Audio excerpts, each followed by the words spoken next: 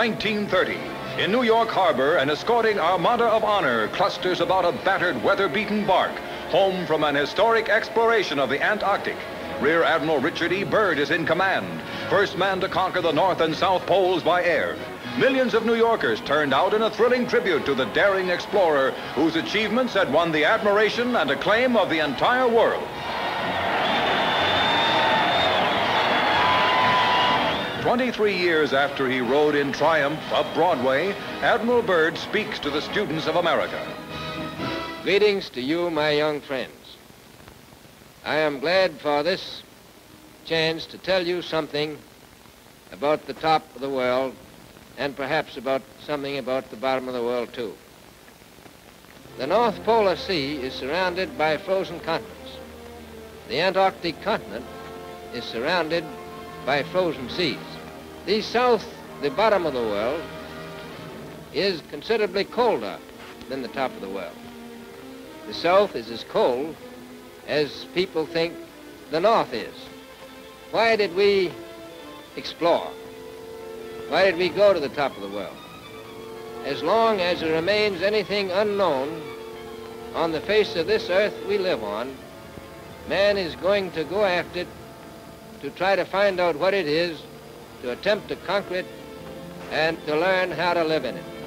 Little did I think when we flew to the North Pole in 1926, this area, the contiguous islands and waters to our flight to the pole would become one of the most important strategic areas on the face of the earth. Below is the actual North Pole, the top of the world. The plane returns after anxious hours to the expedition's base at Spitsbergen. In 16 hours, the flight had accomplished what Peary's heroic sled journey had taken more than a year to do. Admiral Byrd and pilot Floyd Bennett had blazed an aerial trail across the Arctic. I myself think we have a good chance to avoid war. But if we, unfortunately, God forbid, do have a war, much of it will be fought across the top of the world, across the pole. It is very important that we get prepared to fight in the bitter cold and to utilize mechanized units there and to have bases uh, near the pole because it's uh, close and has strategic position with reference to our potential enemy.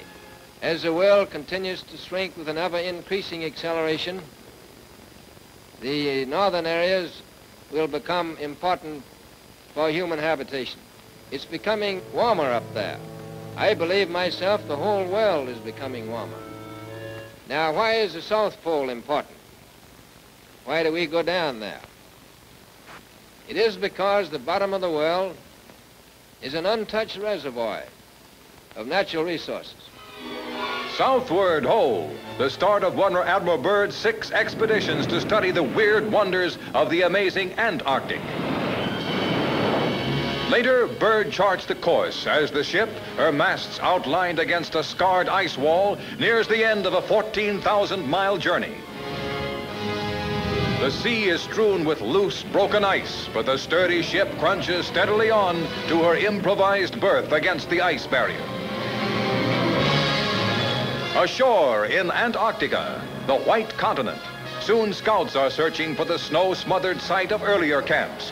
Proudly, Old Glory is run up to fly again over Little America. The local inhabitants look on. Blocks of snow melted down in subsurface vats provide water for the camp. It's a tedious process. Two gallons of snow yield barely two quarts of water. The friendly penguin is among the most hardy and primitive of birds. Of all the animals who roamed the once tropical Antarctic continent, he alone has survived. A little supervisor in full dress, lord over a lifeless wasteland, slumbering still in the ice age that gripped the northern hemisphere 30,000 years ago.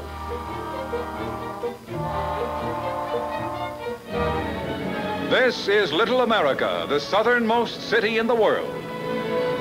By air, man has explored vast chunks of the Antarctic six million square miles. Admiral Byrd returns from a scouting flight with only minutes to spare. A savage blizzard is about to strike.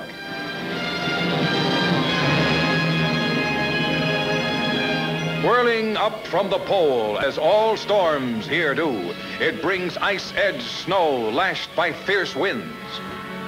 In their shelter below, members of the expedition study photographs taken on Byrd's flight. Above, the storm reaches full fury.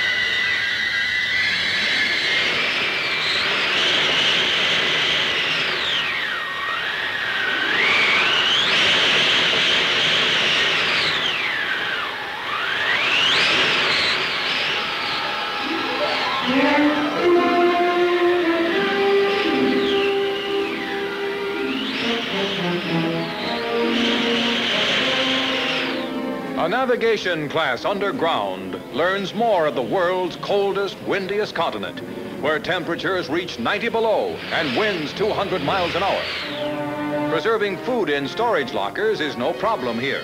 Many experts envision the Antarctic as a huge deep freeze cabinet. Surplus food could conceivably be stored with assurance that it would be there hundreds of years later. Meat freezes so hard that it must be chopped with an axe. The fury of the storm is spent. The men can now reclaim the frozen world above. Except for a thick, fresh frosting of snow, there is no change. Crews soon are at work digging out. A tractor is freed from its cocoon of snow. Man and machines have conquered the Antarctic wastes. Dog sleds carrying vital information collected on the expedition and their drivers abandon Little America and return to the ships now being loaded. Those longtime friends of the Byrd expeditions, the penguins, say goodbye. The natural resources of the Antarctic must be left behind. Coal, oil, uranium, and penguins. Ahead, the long voyage home. I think it's important for us to explore that area, important for the human race, to find out what's there. That is why when this crisis is over, uh, we expect to go back. Perhaps uh, some of you students who are hearing this talk may volunteer to go back with us. We'll be glad to have you. Some of us may answer this call to adventure and journey with Admiral Byrd back to the poles, truly the ends of the earth.